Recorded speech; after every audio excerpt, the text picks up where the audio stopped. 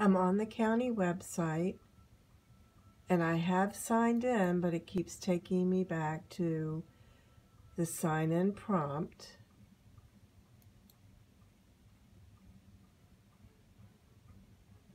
So I keep trying to click on existing account.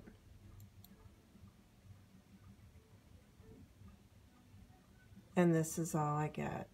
I'm unable to get into any of the portal information to get my health documents that I need to submit to the county. Just wanted to show what type of error or message or whatever you want to refer to it as being so that I cannot get in to my employee portal. I will try one more time.